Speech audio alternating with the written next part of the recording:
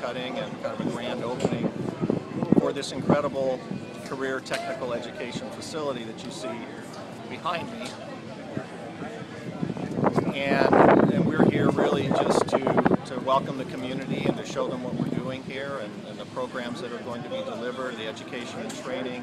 It's going to help prepare uh, many, many individuals to go to work in high-paying, good careers in uh, auto technology, diesel technology, and and uh, construction technology, and that's what's going to be housed in this in this building. In fact, they're already in there, and that's what we're here to do today: to, to dedicate this building and and let the community see see what we're doing.